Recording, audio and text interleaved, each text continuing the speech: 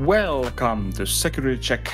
Today we are going to talk about the new restricted list that just hit and it will be going into effect next Saturday, uh, 31st of August. Yeah. And I guess we should dive right into it. But first, remember to like and subscribe. That is free and helps us helps us out. Or Yeah. you can also leave comments. What do you think about the ban uh, restriction list? And if you are uh, if you want to try uh, help us more us mo- out more, please consider becoming a channel member. Yeah. It's cheap. yeah, let's talk about the ban lists uh, or uh, the ban list up, up, updated uh, restrictions and one card that got lifted off from the ban list or Yeah. restriction list. Yeah, we only have one ban in Digimon, so it, technically it's more of a restriction list than ban list. Yeah. Uh, the first card that got restricted is the promo Ukkomon that basically feels like everyone were like this, this, this or the other Ukkomon should go to one. Yeah, and I think this is much more wise uh, restriction because of the memory gain and uh, because well, Bandai probably won't want to uh, hit their BT16 sales, but I don't know. maybe, maybe they kind of hit hit the sales with this restriction list. We will talk about that later. Uh, but uh, this But is a solid hit. Yeah, and thi- this was the Ukkomon gaming was becoming too much because there were like seven to eight Ukkomons in so many different decks, and the, Yeah. the aggro and tempo it gives you in those decks that we're playing it is like too much. Yeah. And uh, with the with the other Ukkomon, you also got get like consistency in your deck. So And I'm, I'm so happy that this uh, happened before we got uh, 2.0.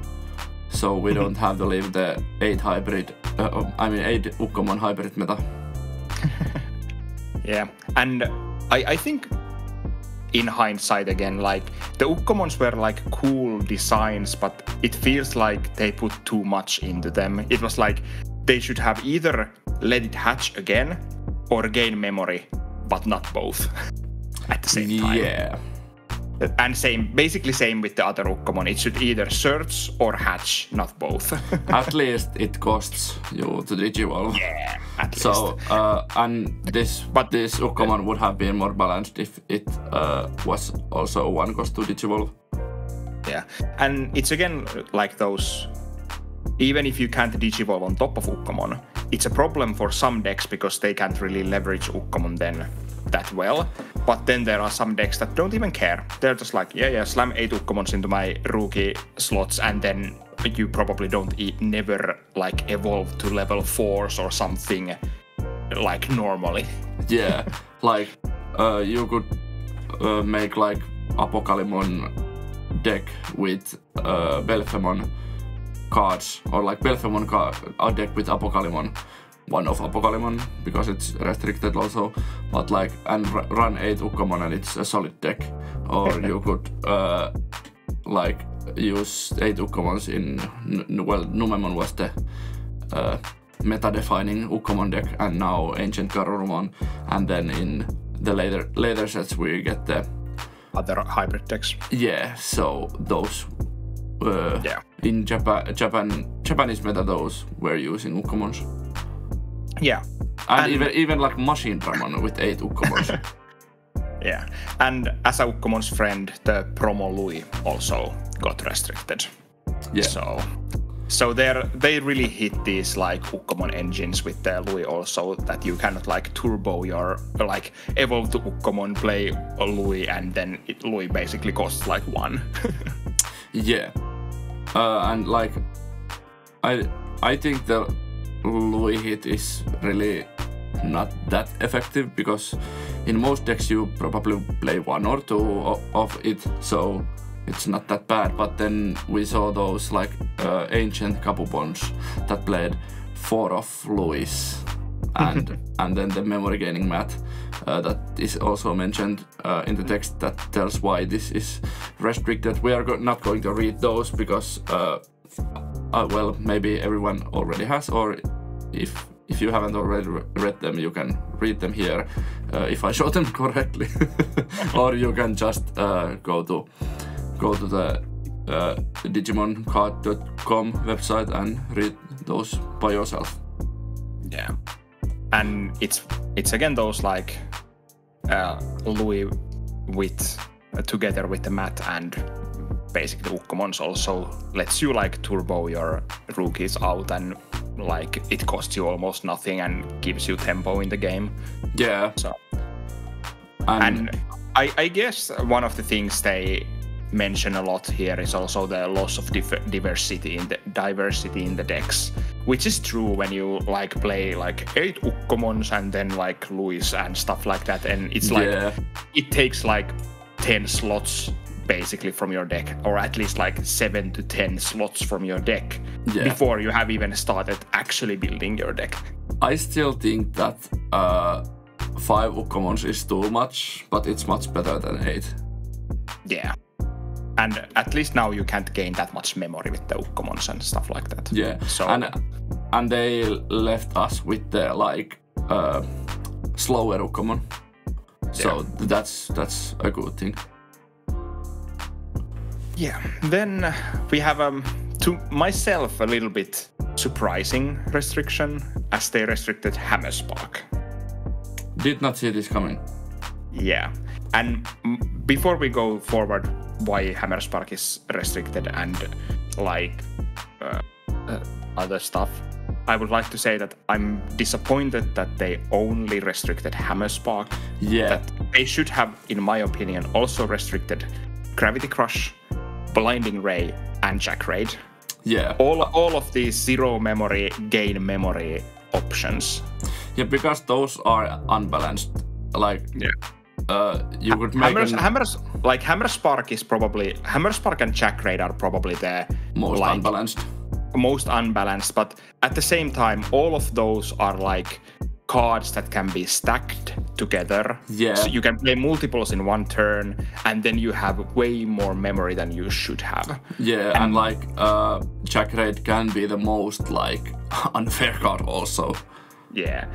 And as they they say that Hammer Spark is getting restricted because now that we are drawing so many cards, you can like slam three of these easily on the same turn and stuff like that.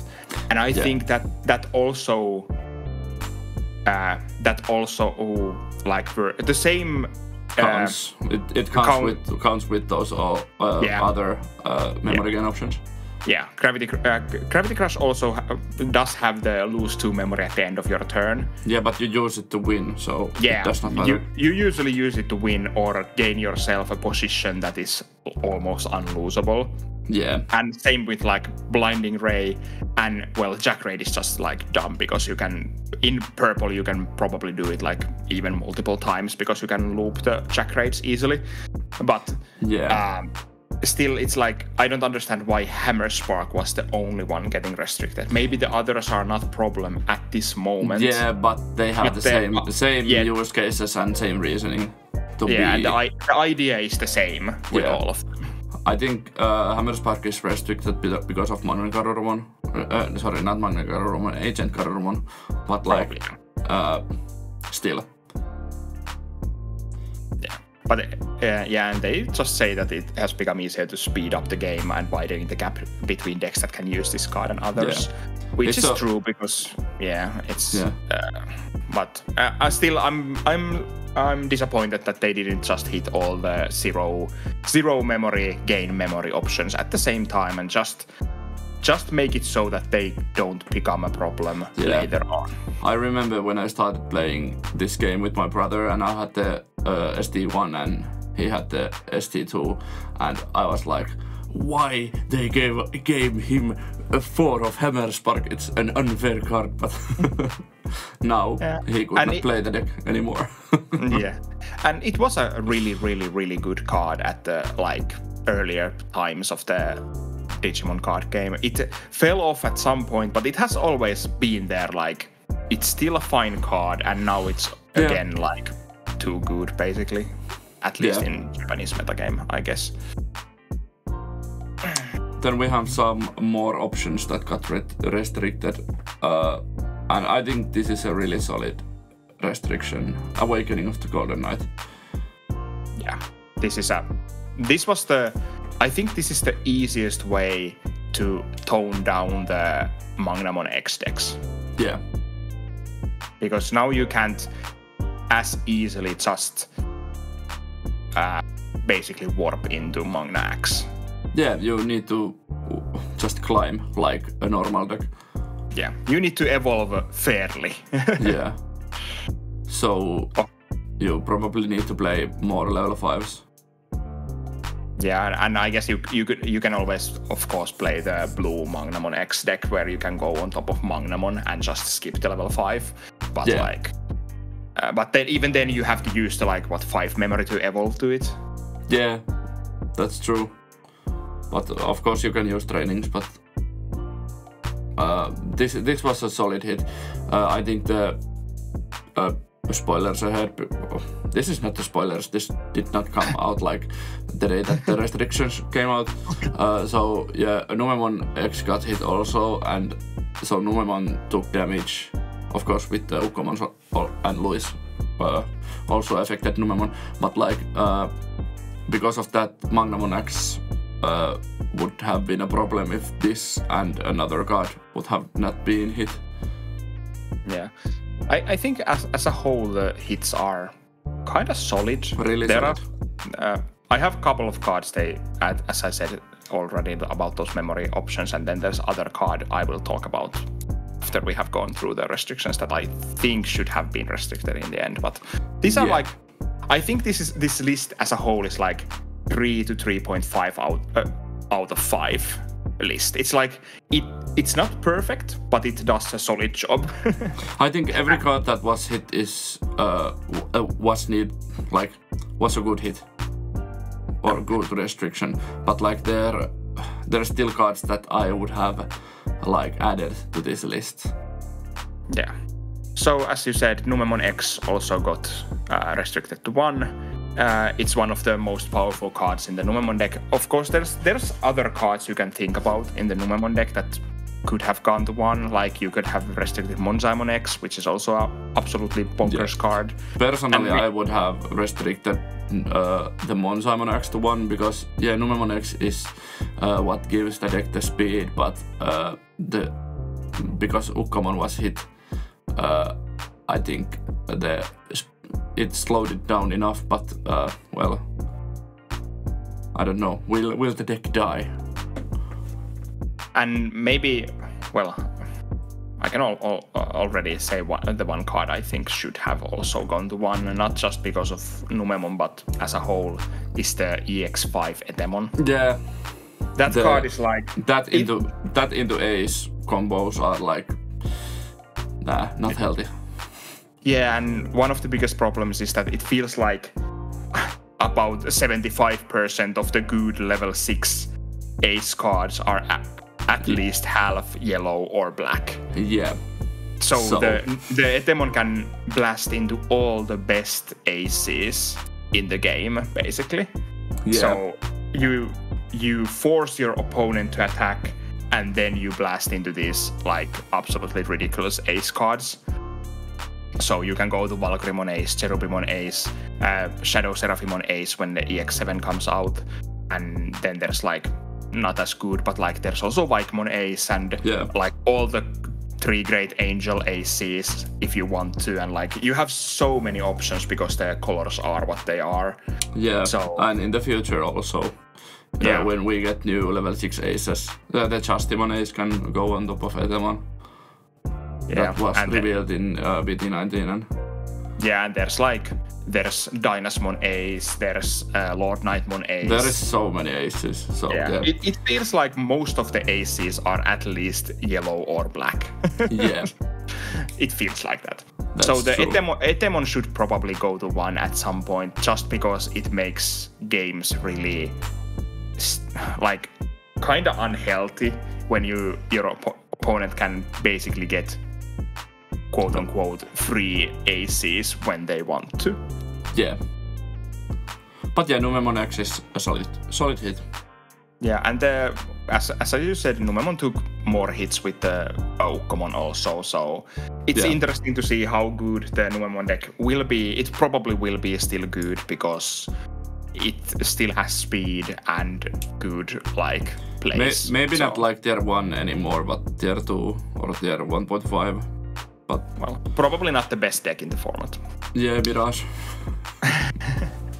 And then the last restriction in the list is the BT14 TK Tamer, which was to myself it was a surprise that I should have seen as a possibility. yeah, I never like considered TK getting a hit. I was like, uh, emissary maybe, or even Patamon, but like I never thought about TK. yeah. Patamon is is a little bit problematic because if you restrict Patamon you basically kill vaccine decks as a whole. Uh, yeah, So it's like now you leave the vaccine like engine kinda online, but you take out the best setup card for Patamon. So Yeah. now now you are more you are more at the mercy of what your security actually has, or you have to set it up with some other cards that are not as efficient as TK. Yeah. And again, one of the biggest problems with TK was the interactions where Patamon evolves for free and you get as many memory as you have TKs on the board plus one from the Patamon. So you can at best get like five memory from a free evolve in your like Yeah. main phase. So if you have a like memory setter, you go to eight memory and you can do literally everything. yeah, but I don't. I I understand that this is a good hit and it's a reasonable hit, but like, does this just kill vaccine decks, or are they still good? Okay, they probably are still okay to play, but like, this is the biggest consistency card maybe in the deck.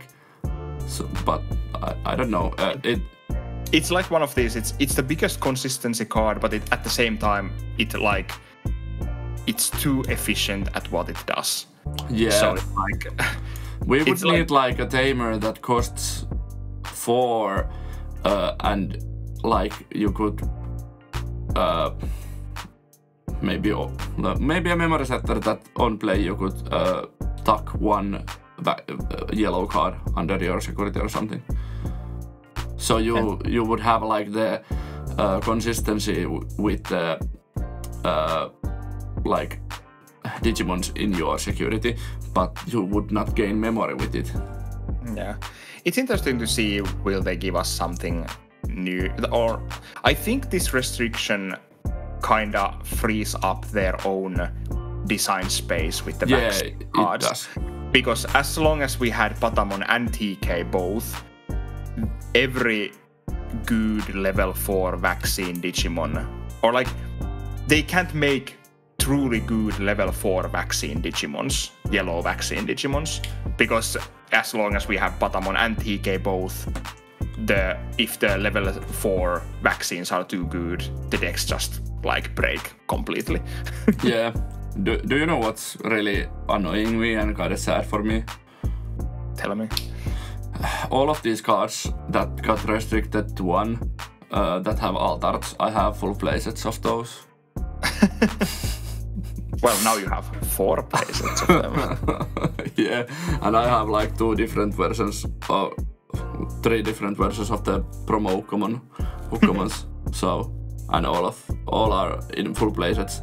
Uh, so, And the last thing in the list is the unrestriction of the starter deck 6 Gabumon. And, well, it was kind of random restriction in my opinion when the restriction happened. Yeah. It was, it was one of those restrictions where they tried to uh, they tried to answer some problems without actually going through uh, like restricting restricting the problem cards and it didn't work and now we have these random uh, purple cards in the restriction list because ah. yeah. Uh, but this is a, a fine addition to many purple decks. yeah it's a fine card and i don't think it was worthy as at restri- uh, in restriction And, Yeah. like, especially now that they kind of killed the metal garurumon deck also Yeah. so Like, Will this save the Bale Starmon deck? who knows? My answer is no. Yeah. Cop- copium is strong, but like Yeah. And then, uh, as, as we already said, like Etemon should probably have gone to one just for the health of the game, as it's it's an integral part of the Numemon deck, but it's also one of the best cards in the upcoming Mother Control or whatever you want to call it. So it's really good there also.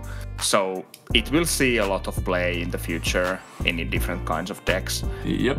Um, and then Mirage Gaogamon somehow avoided all restrictions I don't get it. again.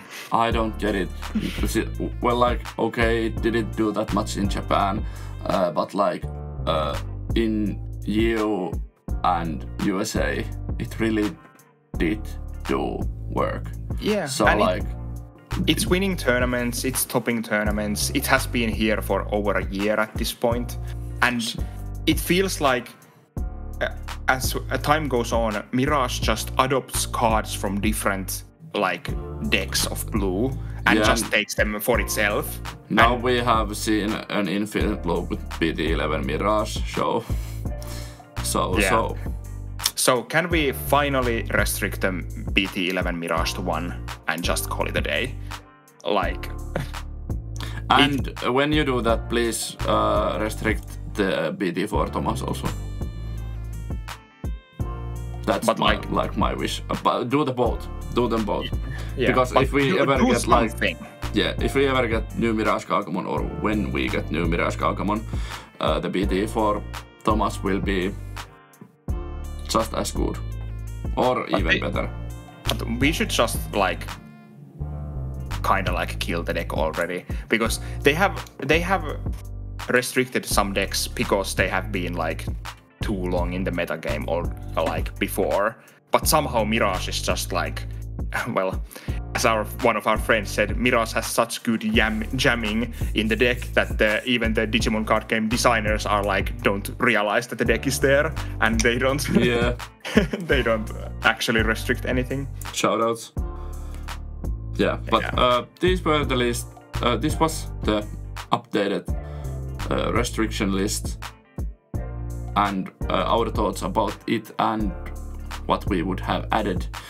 I would have not changed probably. I, I'm a little salty about the TK, but uh, as time moves on, I will you get used to it.